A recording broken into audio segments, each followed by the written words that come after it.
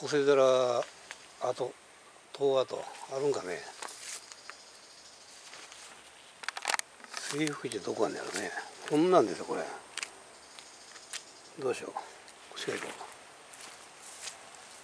う。いやーいっぱい虫がいっぱい入られへんがね。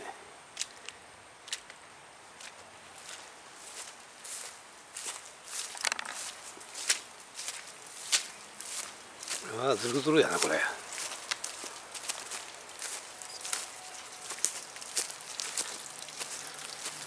おお少々がいっぱいでございます。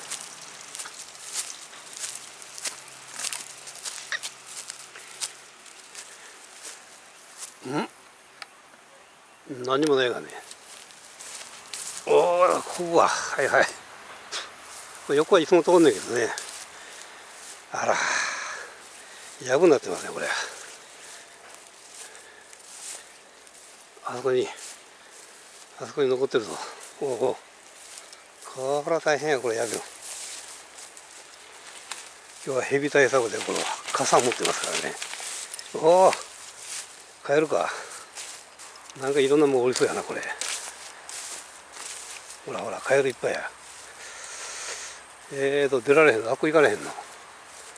これは無理でございますなここは。どうしましょうかね。どっから行きましょう。小瀬寺跡でございます。天智天皇言うたらだいぶ前やな。飛鳥時代やね。あれ？行きまへんか。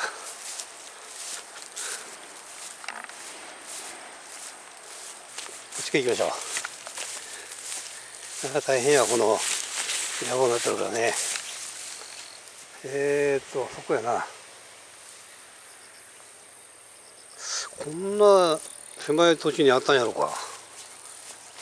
小瀬寺は。これ金ですかね。金ですね。何にも残あそこになんか残ってるよねあそこにな。あの寺さんなんやろね。はいもう行ってみましょう。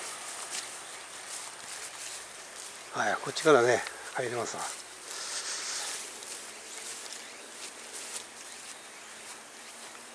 小瀬の道。小瀬寺跡。寺跡でございますこっちがね。はい。おこん西日本 JR でございます。JR がねそんなうまいとこ電車来ないもんやね。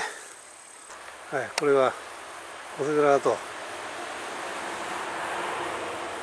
日本書紀には686年初めてこの小瀬寺の名前が見られて通りの寺院としてはかなり大規模であった、はい、記事のね記事の途中なんだろうなここ。はい。ああ来れました来れました。おお残ってる残ってるこれ。史跡小瀬寺塔跡。塔子うん。どれがそうなこれはなんだ？ここらは残ってるけど。なんかマスターそうやな。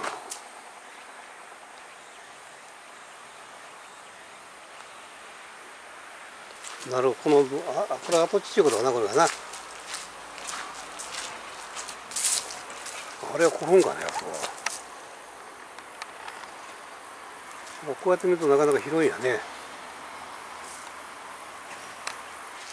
これが東亜とかねこれが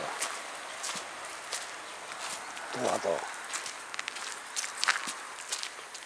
おおこれなんかこれほんま石かよこれ。これ。セメントみたいやけどね。石かねこれ。ちょっとわからんな。309がよく通ってますからね。おおこれまた大きな木やね。これは素晴らしい木が残ってます。もうまさられてないかね。ああその下にもなんか石がいっぱい残ってるわね。これなんだ？お地蔵さんかこれは。この下にね石がなんかいっぱい残ってるんだけどこれ。これ。これあの蘇生かね。1個2個1個2個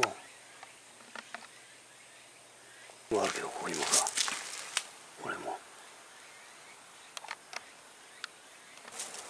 これは新しそうやなこれ。ねえ。ああでもそうか。あれ切ってあるね。うん。こ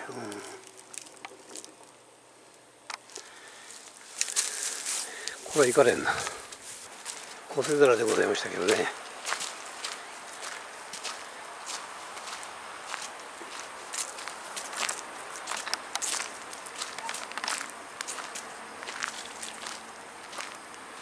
これがまた電車が来ないんだよねなかなかね。